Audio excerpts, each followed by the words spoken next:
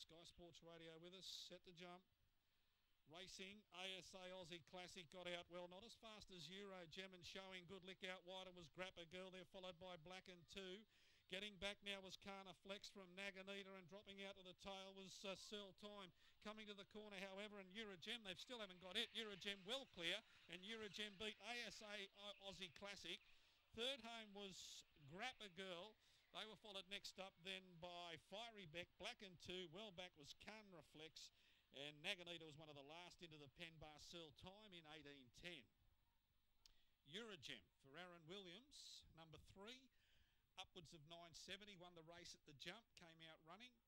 ASA Aussie Classic seconds, paid a very good place dividend of $2.20 and six Grappa Girl will wind up third. 3, 10, 6 and 5.